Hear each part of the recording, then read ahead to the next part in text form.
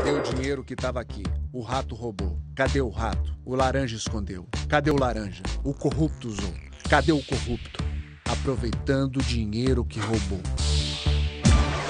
O repórter secreto do Fantástico está de volta para investigar uma falcatrua que começa com um desvio de 15 milhões de reais e pode chegar a 100 milhões. A maracutaia envolve fantasmas num cemitério e até um juiz de pelada que ganha mais do que árbitro do Brasileirão. O povo quer saber cadê o dinheiro que estava aqui. Mais uma firma fantasma que ele botou aqui nesse cemitério. Arreda fantasma! árbitro de futebol recebendo 8 mil reais para apitar uma partida de várzea. Pode isso, Arnaldo? Uma pessoa que carregava frete num dia e no outro amanhecia proprietário de uma empresa que licita milhões de reais com o município. Belém de Maria, cidade no interior de Pernambuco. Pequena e sofrida. Mais de uma vez penou com enchente. Agora está penando por conta de uma praga. Os fantasmas que afanam o dinheiro público. Isso tudo aí, ó, é casa de empresário mexendo com muita verba da prefeitura. Empresas que licitavam em torno de milhões de reais anualmente com o município. Um esquema de desvio de dinheiro público que já está em 15 milhões de reais, mas pode chegar a 100 milhões em todo o estado de Pernambuco. É por isso que o repórter Eduardo Faustini está em Belém de Maria para perguntar: cadê o dinheiro que estava aqui?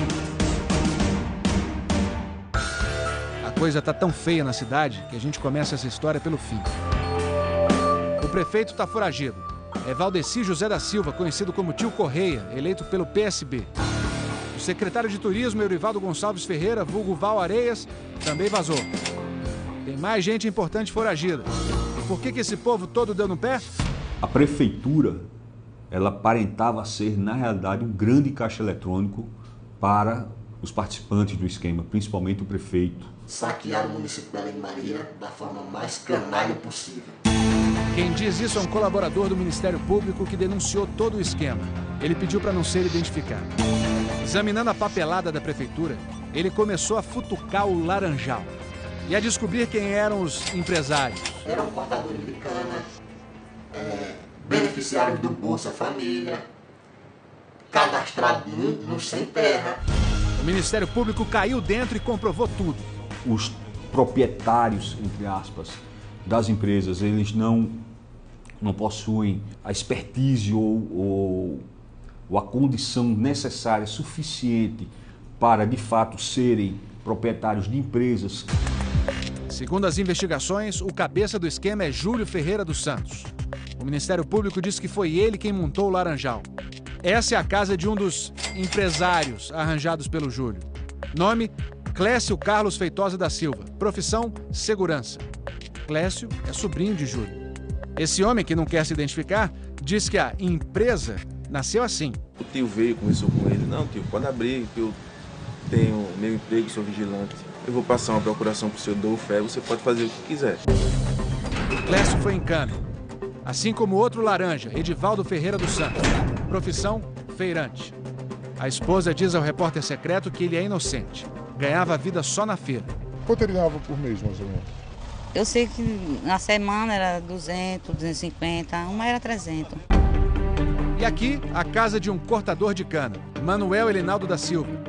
Recebe Bolsa Família. A casa foi dada pelo governo. Mas ele também acabou virando laranja e também está preso. Beneficiário do Bolsa Família e o capital social da empresa dele, 250 mil reais. Um verdadeiro absurdo, fechando os contratos com a administração pública de 800 mil, 1 milhão e 200. O desvio de dinheiro começava com vários serviços contratados pela prefeitura. De mentirinha. Podação de árvores, pulverização, desratização, desculpinação do município, dos prédios públicos, conserto de cadeiras, de, de materiais escolares, que de fato nunca existiram. A poda das árvores custou quase 500 mil reais, pagos para as empresas dos laranjas. Agora, como essas árvores aí estão aparadinhas, alguém deu um trato nelas. Se não foram os laranjas, quem foi? Na realidade era um funcionário do município que podava as árvores. Dizer, em Belém de Maria, parece que dinheiro nasce em árvore. Tem mais. Esse é o principal campo de futebol da cidade. Galera jogando pelada, legal. Mas a prefeitura contratou um árbitro para apitar um jogo pelo valor de 8 mil reais. Mais que o dobro do que ganha um árbitro da Série A do Brasileirão. 3.678 reais por partida. É árbitro FIFA, árbitro FIFA, padrão FIFA. Eu não sei como esse rapaz não foi apitar na Copa do Mundo lá, porque é, é um verdadeiro escândalo. Tem mais. Nem o descanso final dos entes queridos escapa da sanha das empresas fantasmas. A obra de ampliação do cemitério parou. Mais uma firma fantasma que ele botou aqui nesse cemitério. Só deu início e tá aí parado.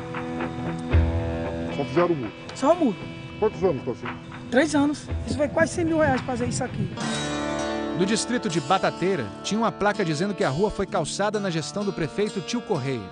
A placa sumiu. O calçamento tá aí.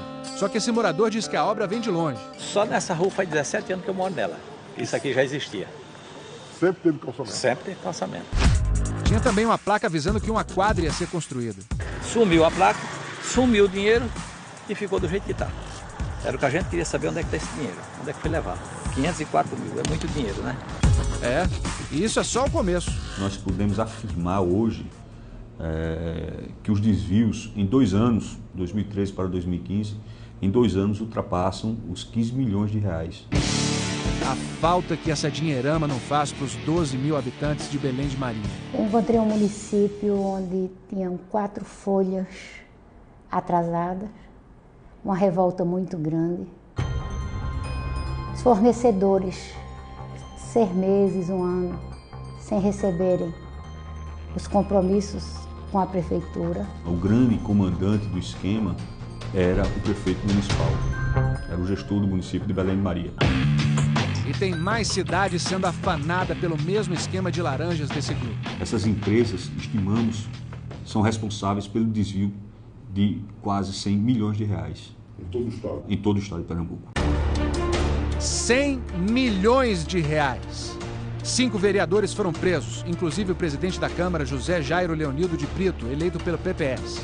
Hoje eles estão em prisão domiciliar, monitorados por tornozeleira eletrônica. Assim como o prefeito Tio Correia, o vereador José Bezerra Cabral, eleito pelo PDT, está foragido.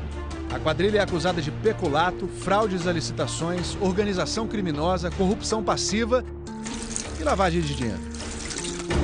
O repórter Eduardo Faustini foi atrás de todas as pessoas mencionadas nesta reportagem, mas ninguém quis falar.